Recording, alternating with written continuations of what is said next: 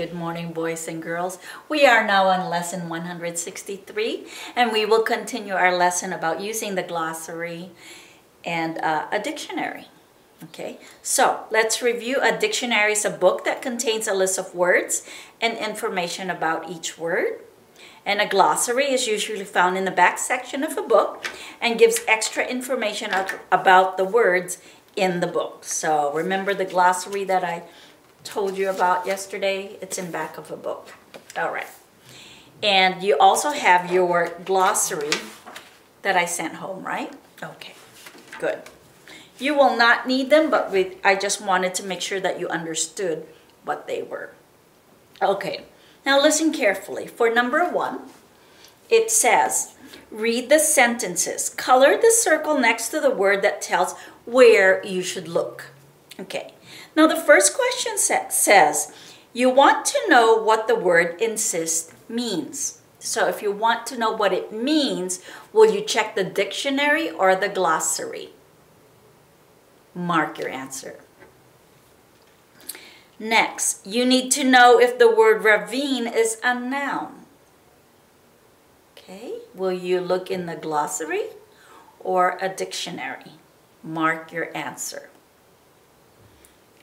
You want to learn more about buffalo. Will you use a dictionary or a glossary? And the last one, you want to learn more about something you read in a book. Will you use a dictionary or a glossary? Okay, I hope you marked the right ones. Let's go over it one more time. Now the word insist, you want to learn or know about the um, meaning, right? So, will you use a dictionary or a glossary? The answer is you will use a dictionary. Remember, a dictionary is a word that tells you all about words, their meanings, what they are, how to pronounce them. Okay? Number two, ravine. You need to know if the word ravine is a noun. Will you use the dictionary or glossary? Yes, a dictionary. If you want to know more about the buffalo, Will you use the dictionary or glossary? Yes, you will use the glossary.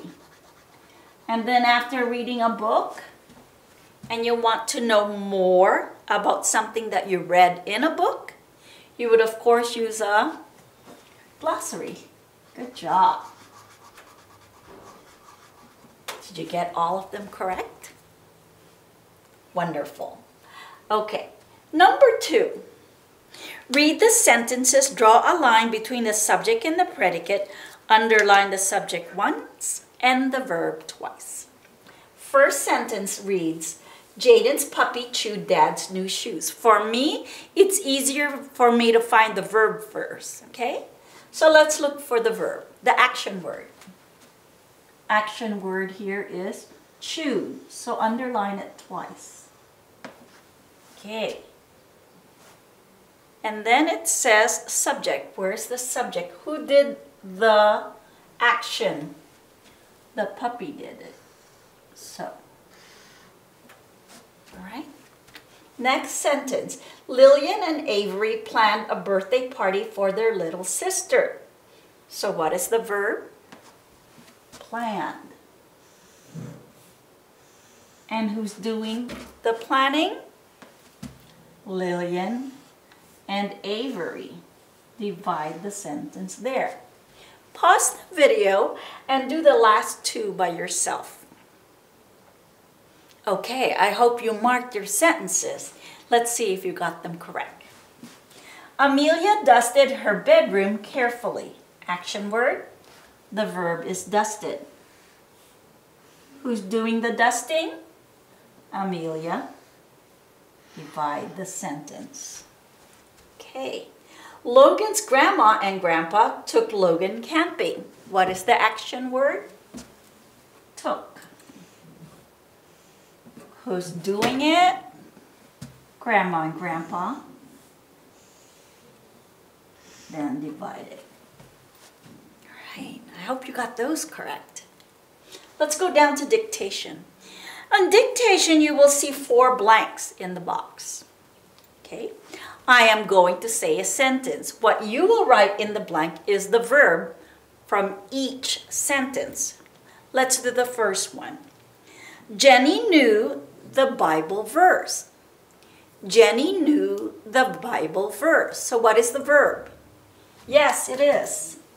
It is knew. Okay. Second sentence. Mrs. Edmond planned a party. Mrs. Edmond planned a party. Write the verse in the next blank. Andrew brought cupcakes. Andrew brought cupcakes. Write it in the third blank. Remember, you're looking for the verb. Daniel read many books. Daniel read many books. What is the last verb? All right. Good job. I will see you tomorrow.